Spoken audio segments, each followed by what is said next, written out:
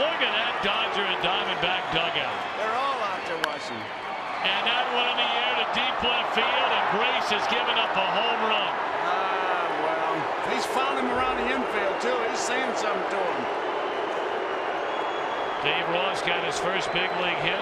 Hit by a pitch his next time up. Now homers off Grace.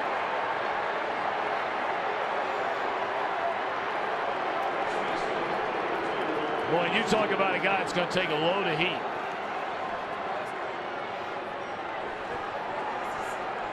Was checking to see if that was a good pitch.